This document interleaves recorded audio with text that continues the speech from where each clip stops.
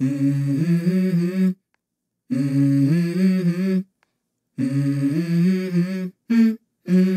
go. What is up, guys?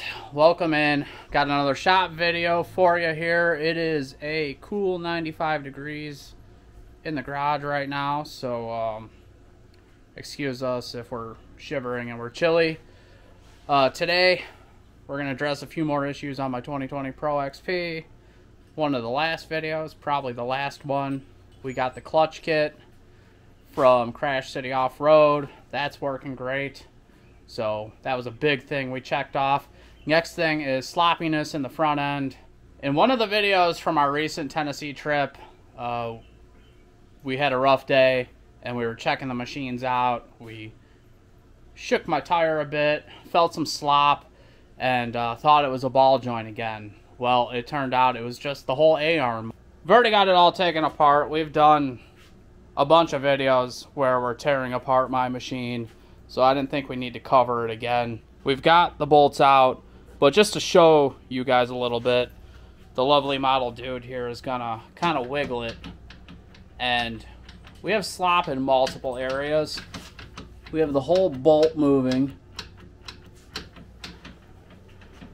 Thank you, Vanna. And it's probably hard to see, but these holes are kind of egged out. So now my lovely assistant has the stock bushings, and he's going to give them a little wiggle. And you can see they are not tight to the bushing. Uh, one of them we measured, and I want to say it was like 30, 40 thou clearance. So today we're going to address both of those issues. First, the bushings. We got them from Performance side-by-side -side bushings.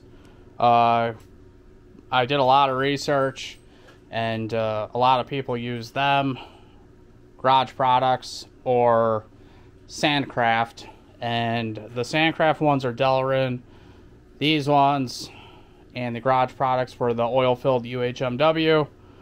And uh, I don't know, a lot of people on the Facebook groups and forums really had good things to say about these guys, so I decided to give them a try. And uh, another reason, I went on their Instagram and he has a post and he has a chicken sitting on a CNC machine. And, uh, you know, you gotta love that. Like I was saying, they are oil filled UHMW. For the small ones, you get new caps with O rings. So, this will be replacing this. On the long side gets a little more interesting. Here's your factory setup, and this is what you replace it with. So you're actually eliminating the little, oops, end caps and just running this, and it will ride on the pin.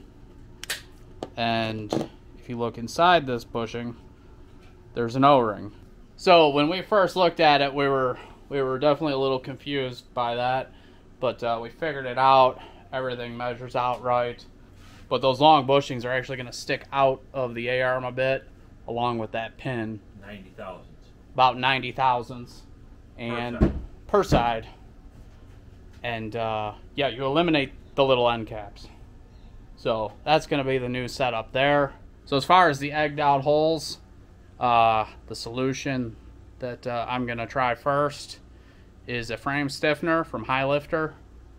Uh, I know some people commented on one of the videos about the little step washers, but uh, this doesn't require welding. And uh, I found this on sale for like 109 bucks, so I figured it was worth trying. So here's the piece here. Uh, you can see it's just to kind of go up under the subframe, and these will go around your existing uh, A-arm mounts. So your bolts will run through here, the subframe A-arm mount, A-arm, and then same thing over here and here. They also provided longer hardware, so that'll be nice. And you can, I can already tell that these bolts through here are a lot tighter fit than what the egged, egged out ones are right now. It's, it's real sloppy. So originally I was going to go with the Super ATV one. I don't remember if it's the front or the back, and uh, they're not all welded. Like it looks like it just has a separate piece that you bolt in, and I didn't understand the concept of that. Came across this Highlifter one. It was on sale, so I pulled the trigger. I mean, they're pretty thick, seems pretty beefy, and uh, hope I'm hoping this uh, solves the problem here. Thank you, Vanna.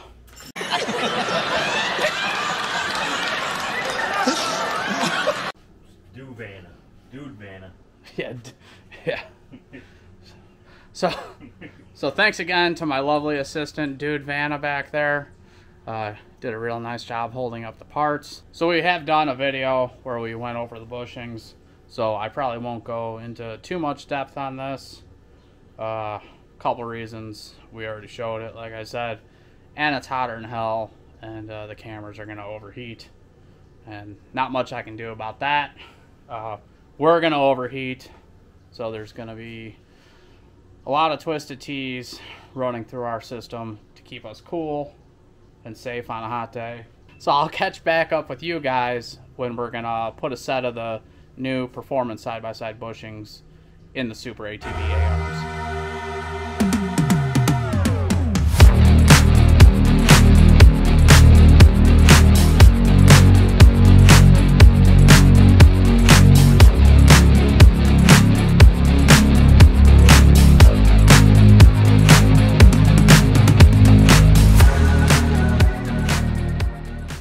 Alright guys, we got all the old stuff out. Uh, got them cleaned up. So we're going to install the new ones. I apologize for the fan noise. Uh, I turned one fan off. We're leaving one on. I'm sorry. But it's hotter than hell in here. We're up to 97, so it is what it is. But uh, the install on these is going to be pretty straightforward. Uh, we'll start with the small guy and uh, we're gonna pop this one in and then we can pop the caps in. I forgot to mention these bushings also made in the USA. It's America, dude. Learn the rules. Other thing I forgot to mention is when you look on their website, you look at bushings, they'll say, uh, do you need to add a grease zerk fitting or do you already have one? Uh, in my case, I already have them with the Super ATV A arms, and that's on the long side. If you don't have them, you'll have to put them in. Take the new one and we'll gently tap her in.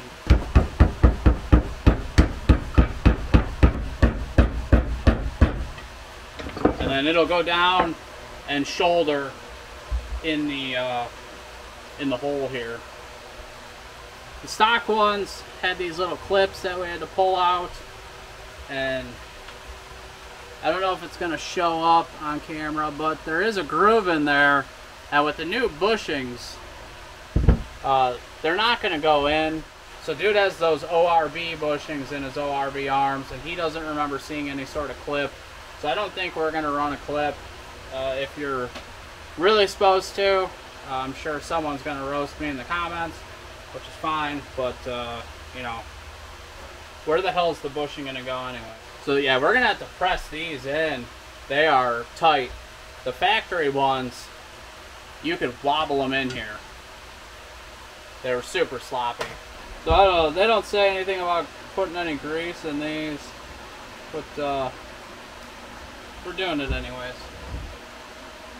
We're rebels, we're outlaws, and uh, you know, just making decisions on the fly here haphazardly. How?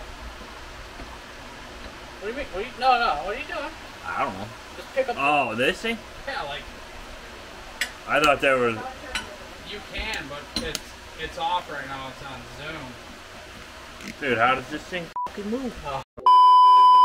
So I don't think it is going to show on camera, but I just uh, squeeze these in a vise, and now they're in. So gonna do the other side. This is the one with the two bushings. We'll pop them off the pin, set the pin aside, set that aside.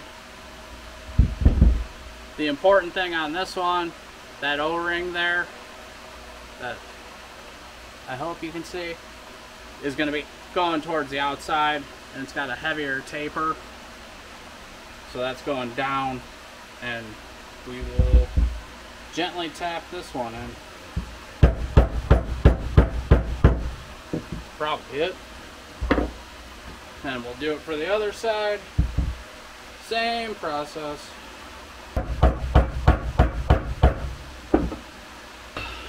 Now we're going to pack this side full of grease and uh, tap this pin in.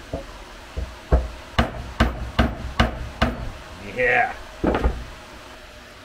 So here's the finished product, the small side and the big side, and you can see they stick out instead of having the caps, and uh, it's kind of what it looks like.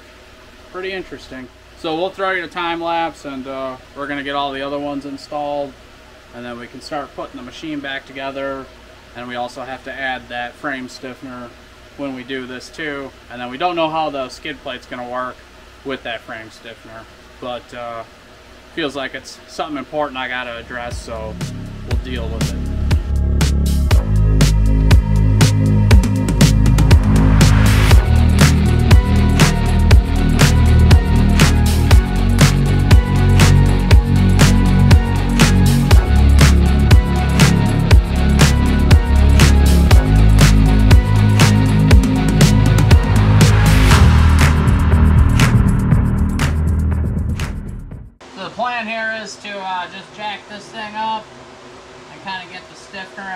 Place.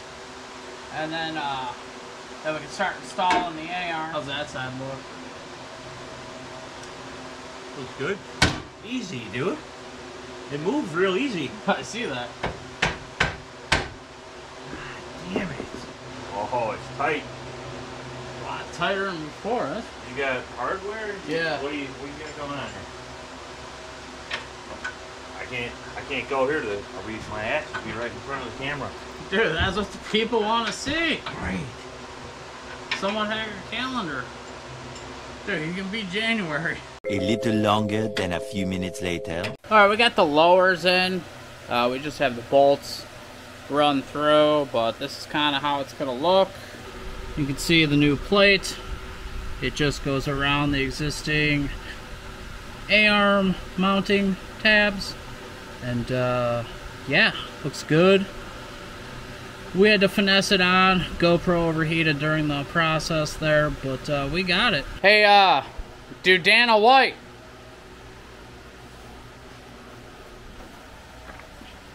So we got the lovely assistant coming up. Uh, we're going to do the same scientific test that we did before, and he'll give it a wiggle.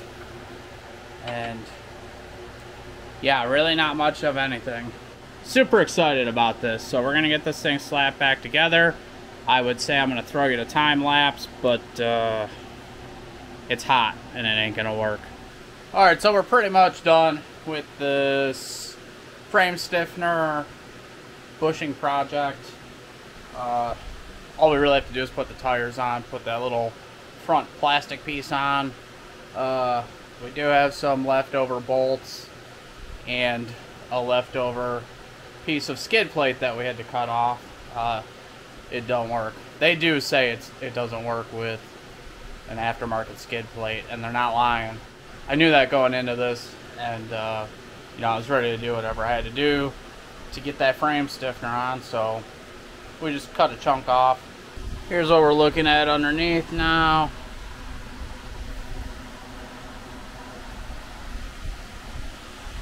And then yeah, we had to cut the chunk from right there because it is it hangs down too low. And these are the mounts for the skid plate so that's no longer gonna work. We'll see if I can do this in film. Uh, but it's kind of like this type of situation.